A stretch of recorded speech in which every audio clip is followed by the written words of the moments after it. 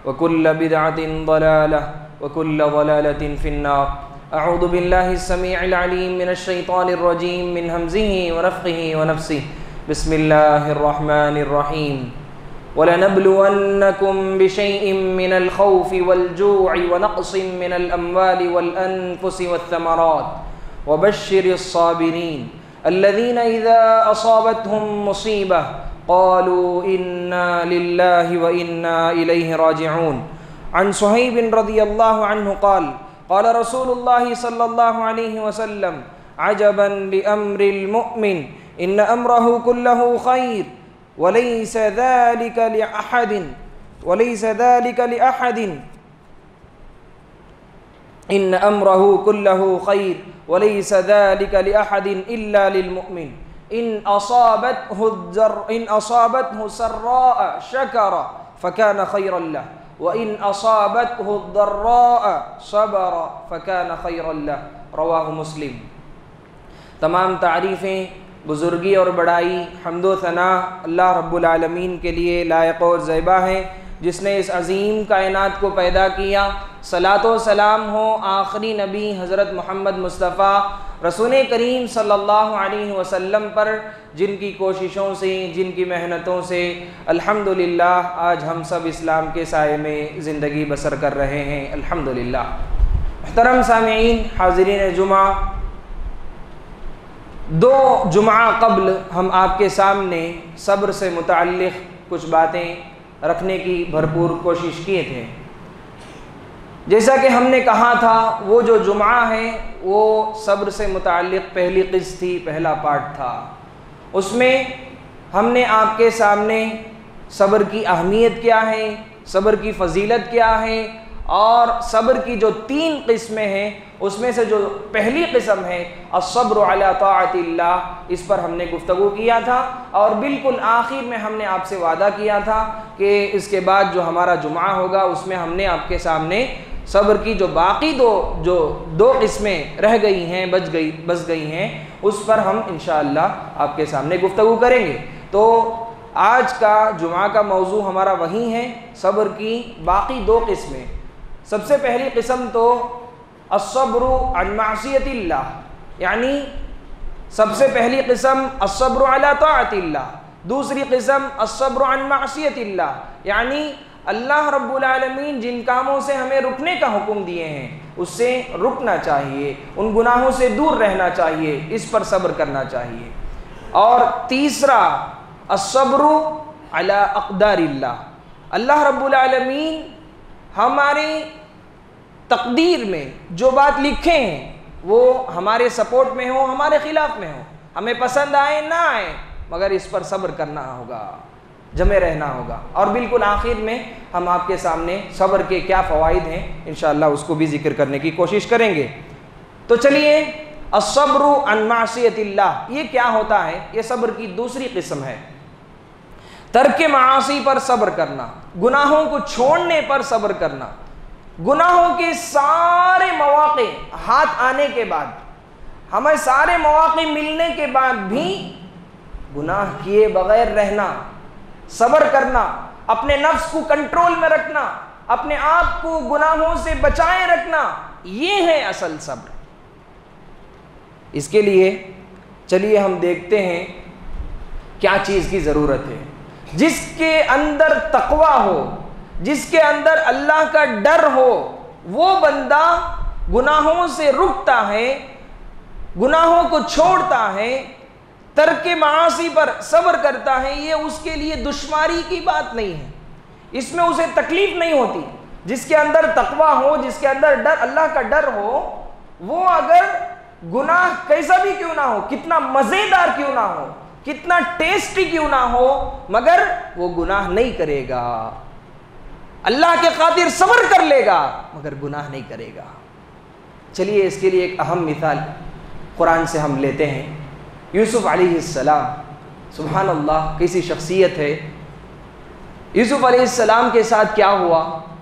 उनके भाइयों ने सबसे पहले तो उनको, उनके वालिद मोहतरम से जुदा किया। ये सबसे ये ये बहुत बड़ा जुल्म था उनके साथ। उतना ही नहीं, लेकर गए, कुएँ में फेंक दिए। ये दूसरा जुल्म था। उसके बाद जो आने जाने वाले थे, राहदारी वाले, उनको कुएँ से उठाए। और ले जाकर किसी एक बाज़ार में बेच दिए, फरोख्त कर दिए। ये तीसरा जुल्म था। उसके बाद क्या होता है? ये जो इतना जुल्म हुआ, इतना ही नहीं, सब पर सब्र किए थे। उसके बाद जब मलिक वक्त बादशाह के पास जाते हैं, वहाँ उसके घर में पहुँचने के बाद अज़ीज़ मिस्र की जो बीवी थी, मलिक मिस्र, वो यूसुफ सलाम की जवानी को देखकर, यूसुफ सलाम की खूबसूरती को देखकर, हसनो जमाल को देखकर, यूसुफ सलाम को बदकारी की तरफ़ दावत देती आप ज़रा यहाँ गौर करें, रुक कर समझने की कोशिश करें। यूसुफ सलाम ने कोई बड़े मशहूर आदमी नहीं थे, और वो अपनी खास बस्ती में भी नहीं थे। दूसरी बस्ती में थे। गुनाह करेंगे तो किसी को पता नहीं चलेगा। बस्ती वालों को मालूम नहीं होगा। हमारे पास ऐसा होता है, हम अगर अपने बस्ती में रहते हैं तो पहचान वालों के दरमियान में रहते हैं, इसलिए जो है, थोड़ा एहतियात के साथ रहते हैं। थोड़ा गुनाह करने से थोड़ा बचते हैं, थोड़ा झिझक महसूस करते हैं।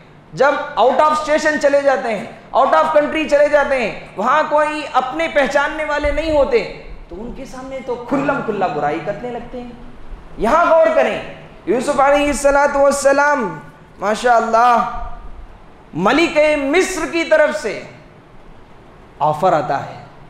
ये कोई मामूली सा ऑफ़र नहीं मेरे भाई। ये कोई छोटी मोटी आम खातून की तरफ़ से ऑफ़र आया नहीं। बड़ी बादशाह की बीवी अंदाज़ा लगाएँ, बड़ी जगह से अगर ऑफ़र मिलता है और अगर उस ऑफ़र को कबूल कर लेंगे, उसकी दावत को कबूल कर लेंगे तो अयाशी अयाशी ज़िंदगी आयश करेगा। लग्जरी लश्करी लग्जरी ज़िंदगी आपको मिलेगी। मगर हज़रत यूसुफ सलाम ने क्या किया?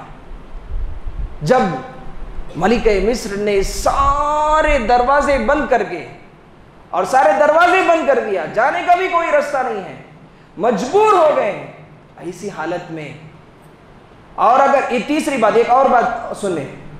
यूसुफ सलाम अगर मलिक मिस्र की ये जो दावत है इसे अगर इनकार करते तो बहुत सख्त कीमत चुकानी पड़ती।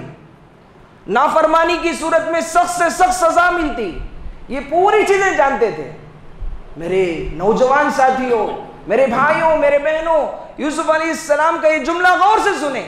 यूसुफ सलाम ने कहा, रब्बी सिजनु अहब्बु इलैया मिम्मा यदऊननी इलै जब भी हमारा ख्याल गुनाहों की तरफ़ बढ़ता है अल्लाह की नाफरमानी की तरफ़ बढ़ता है मासीतों की तरफ़ बढ़ता है। यूसुफ सलाम का ये जुमला कभी ना भूलें। यूसुफ सलाम ने कहा, रब्बी सिजनु अहब्बु इलैया ये लोग मुझे जिस काम की तरफ़ बुला रहे हैं, ये खातून, ये औरत मुझे जिस बदकारी की तरफ़ बुला रही है, जिना की तरफ़ बुला रही है, इससे तो अच्छा है, मैं जेल का, जेल खाने में ज़िंदगी गुजारूं। मैं कैद खाने में जाकर ज़िंदगी गुजार दूँ। मैं कैद खाने की तकलीफें बर्दाश्त कर लूँगा, मगर अल्लाह की नाफरमानी नहीं करूँगा। दिल छू कर कहें, हम में से कितने नौजवान हैं जो पाँच सौ रुपए के लिए, हज़ार रुपए के लिए जिना करने के लिए तैयार हो जाते हैं? सोशल मीडिया का दौर है, फितने का दौर है। मेरे नौजवान साथियों, आपको भी ऐसे ऑफर्स मिलेंगे। आप ऐसे ऑफर्स कभी कबूल ना करें, हलाल तरीके से अपनी अपनी ख्वाहिशें, जायज़ तरीके से अपनी ख्वाहिशें मुकम्मल करें। हराम तरीका कभी इख्तियार ना करें। यही तरीके मैं अपनी अपनी बहनों से भी कहना चाहूँगा, अपनी ईमान की हिफाजत करें, अपनी जिस्म की हिफाजत करें। और जब भी ऐसा मौका मिलता है, अल्लाह का डर अपने अंदर पैदा करें। अल्लाह का खौफ अपने अंदर पैदा करें। ऐसा ना हो एक मरतबा गुनाह करने से क्या होगा? शैतान आपके दिल में डालेगा। एक मरतबा गुनाह कर लेंगे, तोबे का दरवाज़ा तो खुला है, तोबा कर लेंगे। ऐसा नहीं। एक मोमिन, एक सबर करने वाला साबिर ऐसा नहीं करता। जब ऐसे मौके मिलते हैं तो उस पर रुकता है, उस पर, उससे दूर रहता है, ऐसे कामों में नहीं पड़ता। और तो और, कभी आपको ऐसे ऑफर्स भी मिलेंगे। पैसे दिए बगैर गुनाह का मौका मिलेगा। पैसे खर्च करने ही नहीं पड़ेंगे। मगर फिर भी आपको ऐसे ऑफर्स कबूल नहीं करना। आपको कभी ऐसी ऐसी चीज़ों में, ऐसे गुनाह के कामों में नहीं पड़ना मेरे भाई, मेरे बहनों। और इसी तरीके से देखें, अगर अल्लाह ताला ने जो काम हराम किए जो काम गुनाह बोलकर बोले हैं, इन पर हम अगर सब्र कर लेंगे तो हमें क्या फ़ायदा होगा? सही बुखारी की वो हदीस ना भूलें। बहुत मशहूर हदीस है। नफसा नफसी का आलम होगा। ऐसे वक्त में क़ियामत के दिन सात लोगों को अल्लाह तबारक ताला अपने अर्श के नीचे साया देंगे। उसमें से एक कौन है मालूम है? बदकारी की तरफ़ दावत मिली होगी। ऑफ़र मिला होगा। ऐसा नौजवान, ऐसा इंसान, ऐसा आदमी, वरजुलुन दाअतहु इम्राअतुन ज़ातु मनसबिन व जमाल। हसीन व जमील, खूबसूरत औरत और मालदार औरत। मालदार भी है, हसीन व जमील भी है, खूबसूरत भी है, सब कुछ है। और वो बुला रही है, बदकारी की दावत दे रही है, जिना की तरफ़ बुला रही है, हरामकारी की तरफ़ बुला रही है। तो उस वक्त में ये इंसान इस्तिकामत के साथ अपने ईमान को बचाए हुए, अपने जिस्म को बचाए हुए कहता है, फ़काल इन्नी अखाफुल्लाह मैं अल्लाह ताला से डरता हूँ। मैं अल्लाह का तकवा अपने दिल में पैदा करता हूँ। मैं कभी आपके इस ऑफ़र को कबूल नहीं करूँगा। ऐसा अगर आप कहेंगे तो तब चलकर अर्श के नीचे साया मिलेगा, वरना साया नहीं मिलेगा। ये सिर्फ़ मर्दों के लिए नहीं खातन के लिए भी। खातन भी खातन को भी मर्दों की तरफ़ से ऐसे ऑफर्स मिले और वो भी उस वक्त में डट जाएँ, इस्तिकामत के साथ रहें, जम जाएँ, सब्र करें। गुनाह के सारे मौके मिलने के बाद भी सब्र के साथ रहें। तो क़ियामत के दिन उन्हें भी अपने अल्लाह सुबहान ताला अर्श के नीचे सायाता करेंगे। और इसी तरीके से मेरे भाई, ये सोशल मीडिया का दौर है। जगह जगह पर फितने, फसादात हैं। हर जगह आपको बुराई, फहाशी अयाशी सारी चीज़ें आपको मिलेंगी। मगर हम एक मोमिन होने के हिसाब से, अल्लाह के ऊपर ईमान रखने वाले हैं, एक मुसलमान होने के हिसाब से, अपने ईमान की हिफाजत करना चाहिए, अपने जिसम की हिफाजत करनी चाहिए, जिसम फरोशी कभी नहीं करें, कभी ना करें। बहुत बड़ा गुनाह है, बहुत कबीरा गुनाह है। और इसी तरीके से अल्लाह का तकवा, अल्लाह का डर अपने अंदर पैदा करें। याद रखें मेरे भाई सिर्फ़ मैं जिना की बात नहीं करता दूसरे और भी बुराइयाँ। आप किसी को धोखा देना चाहते हैं किसी के साथ फ्रॉड करना चाहते हैं तो उस वक्त में भी आपका दिल बोलेगा फ्रॉड करें। थोड़ा ज़्यादा थोड़ा एक एक, कीमत एक चीज़ बेचते हैं तो उसमें जो है दस रुपए मिलता है इलीगल तरीके से। फ्रॉड करके बेचेंगे तो सौ रुपए मिलेगा। हज़ार रुपए के बदले दस हज़ार रुपए मिलेंगे तो आप क्या करते हैं? फ्रॉड करने के लिए। तो ये तरीका अगर चुनेंगे, शैतान आपको कहेगा, आपका नफ्स आमदा करेगा, मगर आपको इसमें नहीं जाना है। आप पीछे रहें, सबर के साथ रहें, कम कमाई है, कम तनख्वाह है, सबर कर लें, मगर हराम कारी ना करें। और इसी तरीके से टयर्ड है, मुझे बदन में सुस्ती है, मैं बहुत थका हुआ हूँ इसलिए शराब पीने चलता हूँ। शराब हराम है, नहीं पी सकते। आप कुछ भी रीजन बोले, उसके अल्टरनेट क्या है, वो इस्तेमाल करें। अपनी थकान को दूर करने के लिए जो दूसरे जराए हैं, वो चीज़ यूज़ करें। उसके मुकाबले में आप हरामकारी की तरफ़ शराब पीकर ही मैं अपनी थकान को दूर करूँगा, ये इजाज़त नहीं है आपको। ये गुनाह है, इस पर आपको सब्र करना ही होगा। और इसी तरीके से हमारे माशरे में, चाहे वो हमारा मुआश हमारा, हमारी हमारी बस्ती हो या दूसरा, दूसरे और भी इलाके हो, नशा बिल्कुल आम है, बिल्कुल आम है, हर जगह आम है। आपके दोस्त नशा करते होंगे। आपको भी देखकर शैतान पहले पहले दिल में डालेगा। एक चस्का लेकर देखते हैं, थोड़ा टेस्ट करके देखते हैं। एक मर्तबा अगर गिर जाएँगे तो आखिर तक उसी में रहेंगे। ये हराम है, इस पर आपको बचना होगा। और इसी तरीके से देखें सूद खोरी ये भी गलत है, नहीं करना चाहिए। कैसा होता है, मैं एक मिसाल देता हूँ आपको। जो जो लोग काफिर हैं, अल्लाह के ऊपर ईमान नहीं है, वो लोग क्या करते हैं? अपनी ज़िंदगी को बेहतर बनाने के लिए, अहसन तरीके से बनाने के लिए वो लोग क्या करते हैं? बैंक से लोन लेते हैं और अपनी ज़िंदगियाँ ख़राब कर लेते हैं। कितने ऐसे छोटे छोटे बच्चे हैं जो ईएमआई का दरवाज़ा खोले हुए हैं। ईएमआई बनते बनते ज़िंदगी चली जाती है। इंस्टॉलमेंट बनते बनते अपनी ज़िंदगी चली जाती है। ऐसा ना करें। एक मर्तबा अगर सूद खोरी में चले जाएँगे, उसी में रह जाएँगे।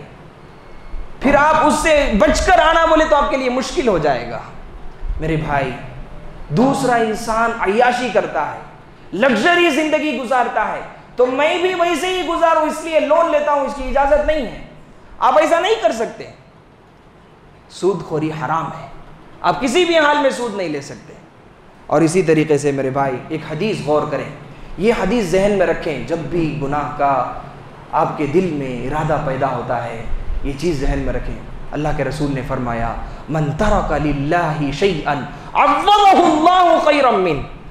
जब भी आप अल्लाह के खातिर आपके जो सोसाइटी में लोग हैं, वो जैसी ज़िंदगी गुजारे, वैसे ही मैं भी ज़िंदगी गुजारूं। हराम को अपनाने पर ही सही। कई कई लोग तुल जाते हैं, आगे बढ़ जाते हैं, हिम्मत कर जाते हैं। ऐसा ना करें।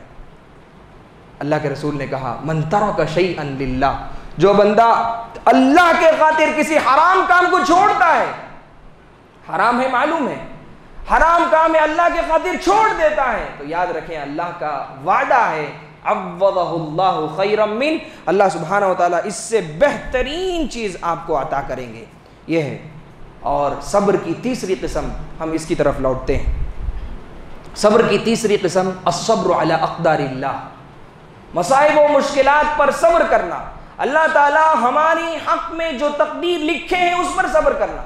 मैं शुरू में आपके सामने कहा, वो तकदीर की बातें आपके खिलाफ ही, क्यों ना हो? वो आपके सपोर्ट में हो, आपके खिलाफ में हो। अल्लाह का हुक्म है, अल्लाह का फैसला है। आपके मुकद्दर में लिखा हुआ है तो आपको सब्र से चलना होगा। देखें, ये दुनिया इब्तिला व आजमाइश की जगह है। यहाँ कदम कदम पर आजमाइशें आएँगी। कदम कदम पर फितने होंगे। आपको, आपका इम्तिहान लिया जाएगा। इम्तिहान लेने के लिए ही यहाँ भेजा गया है। यहाँ पर हर मोमिन को मुख्तलिफ़ तरीक़ों से आजमाया जाएगा। अल्लाह रब्बुल कभी आपको खैर के ज़रिए से आजमाएँगे। अल्लाह रब्बुल कभी आपको शर के ज़रिए से आजमाएँगे। कभी अच्छाई के ज़रिए से आजमाएँगे। कभी बुराई के ज़रिए से आजमाएँगे। और कभी अल्लाह रब्बुल नेमतें देकर आजमाएँगे। कभी नेमतें छीन कर आज, आजमाएँगे। तो हर कदम पर हमें आजमाइशें आएँगी। हम मेंटली भी तैयार होना होगा। फिजिकली भी तैयार रहना होगा। और इसी तरीके से मेरे भाई सुरे बकरा की वो आयत ना भूलें जो हमने आपके सामने पढ़, शुरू में पढ़कर सुनाया। अल्लाह रब्बुल आलमीन इस आयत में कहते हैं हम ज़रूर तुम्हें आजमाएँगे। अल्लाह रब्बुल आलमीन कहने के बाद मुझे आजमाइशें नहीं आएँगी ऐसा नहीं कह सकते। अल्लाह रब्बुल आलमीन कहते हैं ज़रूर तो हम तुम्हें आजमाएँगे। इसमें सब लोग शामिल हैं सबको आजमाया जाएगा। और मोमिन है, मुसलमान है, अल्लाह के ऊपर ईमान रखने वाले हैं तो उनको और आजमाया जाएगा। जिसकी दलील हम गुजशत जुमा में आपके सामने पेश किए थे।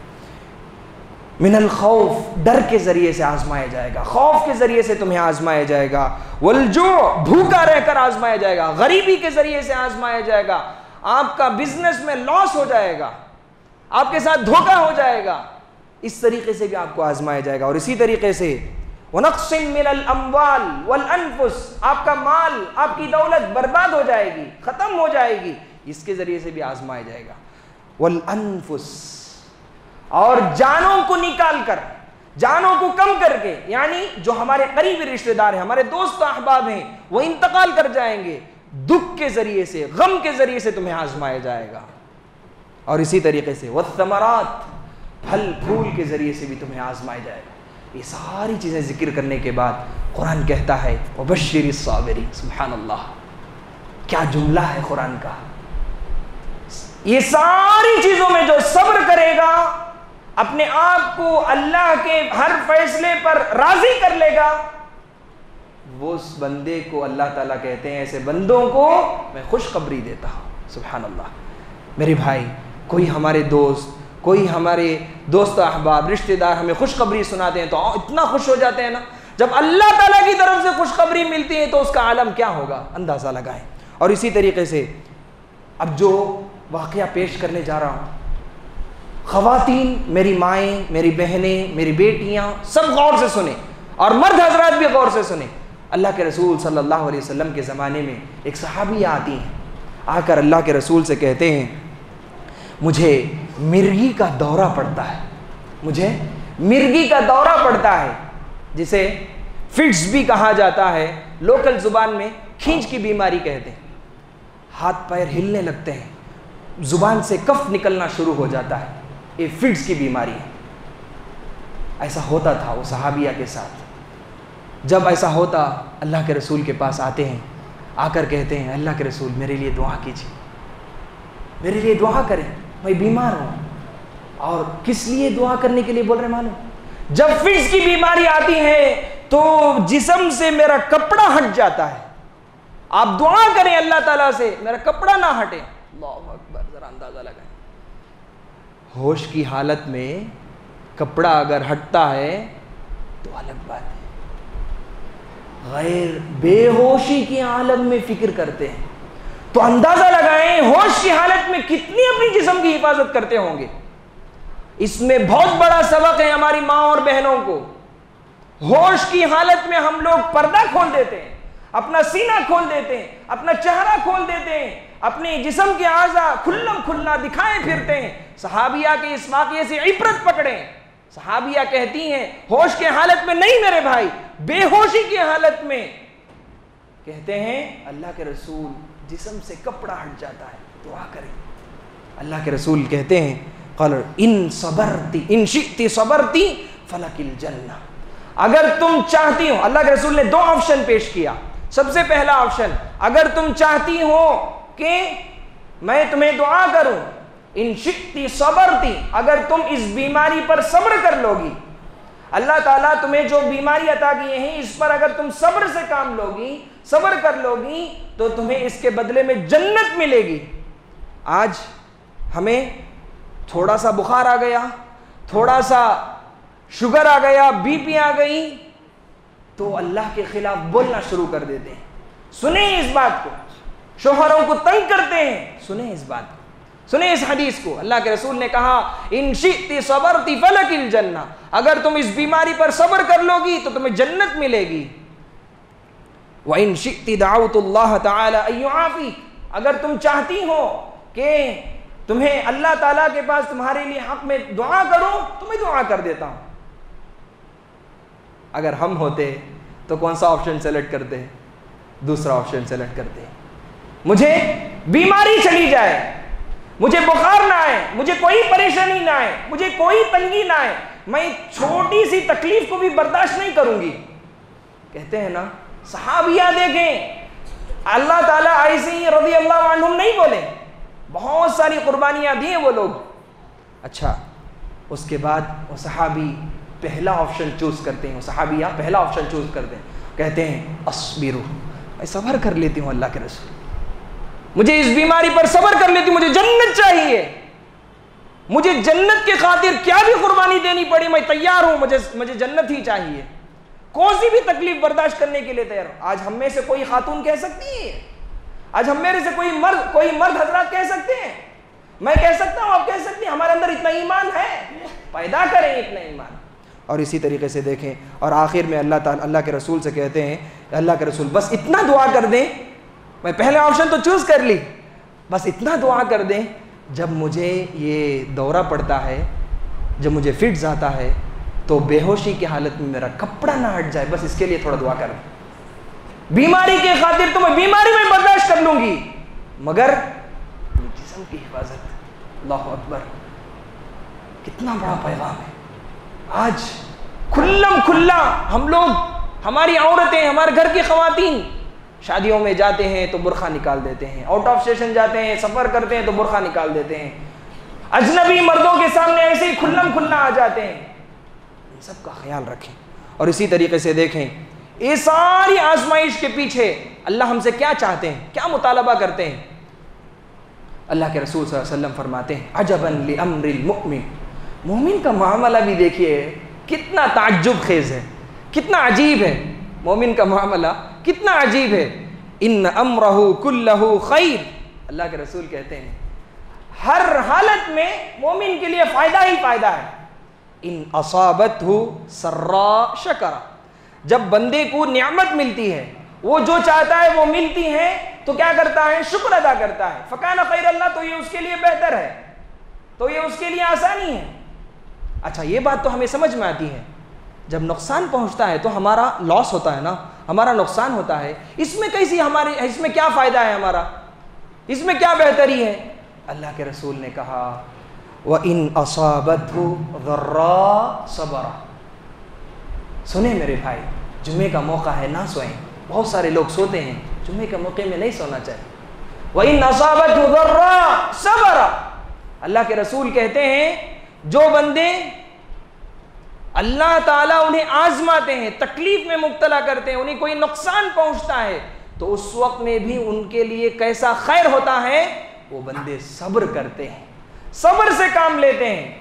मुझे तकलीफ़ आई है तो मैं अल्लाह ताला से शिकायत करता हूँ, अल्लाह ताला से बातें करता हूँ, अल्लाह के पास शेयर करता हूँ, मगर मैं लोगों के पास ज़िक्र नहीं करता, मैं लोगों के पास शिकवे शिकायत नहीं करता, अपनी ज़ुबान पर शिकायत का जुमला नहीं लेकर आता। ये होते हैं मोमिन बंदे, बंदियाँ।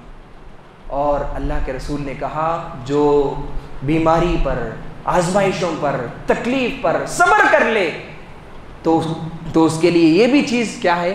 बेहतर है, फ़काना खैर अल्लाह और इसी तरीके से मेरे भाई देखें, अल्लाह के रसूल सल्लल्लाहु अलैहि वसल्लम ने हमें सब्र के बेशुमार फ़वाद ज़िक्र किए हैं।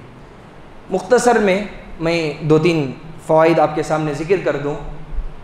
सबसे पहला फ़ायदा, अगर हम सब्र से काम लेंगे, सब्र करेंगे, बहुत सारे लोग कहते हैं, सब्र के सिलसिले में बोलना, बात करना आसान है। मगर जब उस हाल से दो चार होंगे, वो हालात हम पर गुजरेगी, तब महसूस होगा। सही बात है मेरे भाई। मगर सब्र करने पर अल्लाह ताला बेशुमार फ़वाद भी हमें अता करते ऐसा नहीं कि जो है आप सब्र करते हैं तो अल्लाह ताला उसके बदले में आपको कुछ भी नहीं देंगे, ऐसा नहीं। अल्लाह के रसूल वसल्लम की हिस्ट्री पढ़ें। अल्लाह के रसूल वसल्लम तेईस साल कुर्बानियाँ दी तेईस साल तकलीफें बर्दाश्त की। मक्के की दौर की क्या हालत थी? हम सब जानते हैं। तफसील में जाना नहीं है। बस बताना यह है, मक्के में भी तकलीफें आई, अल्लाह के रसूल बर्दाश्त किए। मदीने में भी तकलीफें हुई, अल्लाह के रसूल बर्दाश्त किए। आगे चलकर 20 साल के बाद मक्का फतह होता है। अंदाज़ा लगाएँ, कितने साल सबर किए? हम लोग एक मिनट सबर करने के लिए तैयार नहीं है। एक घंटा सबर करने के लिए तैयार नहीं है। मेरे भाई, सोचें, समझें। अब सुने, सबर के क्या फ़वाद हैं। हम रमज़ान में भी आपके सामने ज़िक्र किए थे। अल्लाह ताला कुछ अमल ऐसा रखे हैं जिसके करने से अनलिमिटेड सवाब मिलेगा। कोई उसकी लिमिट नहीं होगी। उसमें से एक तो रोज़ा है, दूसरा सब्र है। चार मौक़ों पर अल्लाह ताला ये नियामत अता करते हैं, ये फ़ायद हमें मिलते हैं, मगर उसमें से एक क्या है? सब्र है। बंदा जब सब्र करता है तो अल्लाह ताला लिमिट नहीं रखें। दस ने की, बारह ने की, पचास ने की, सात सौ ने नहीं। अनलिमिटेड उसे नापने के लिए, तोलने के लिए कोई पैमाना नहीं है। अल्लाह ताला जितना चाहे नवाजेंगे। अपनी शान के मुताबिक अल्लाह के, अल्लाह तबारक ताला ने कुरान में कहा युवफ़्फ़ाबिरून अजरहुम बिगैर हिसाब।